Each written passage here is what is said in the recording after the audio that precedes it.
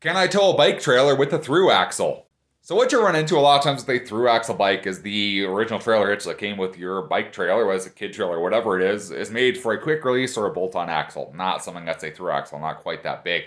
So they do make ax they do make the hitches in a version that will fit a through axle. So you can buy those. They don't come with the trailers originally because it's pretty rare that someone buying one of those trailers has a through axle. However, I took my original hitch there and actually just drilled out the hole a little bit larger. So I think for my gravel bike, it's a 10 millimeter, I think it is. So I just drilled it out a little bit and it works perfectly fine. Bolts right in there. You just take the axle out, pop this guy on just like you would any other one, and bolts right on. Works perfectly fine. And then it still works on a quick release or a bolt through or a you know bolt on axle. So it's definitely possible. Obviously, if you have a huge rear axle, might not work, but they make them out there so you can still tow your trailer with a through axle.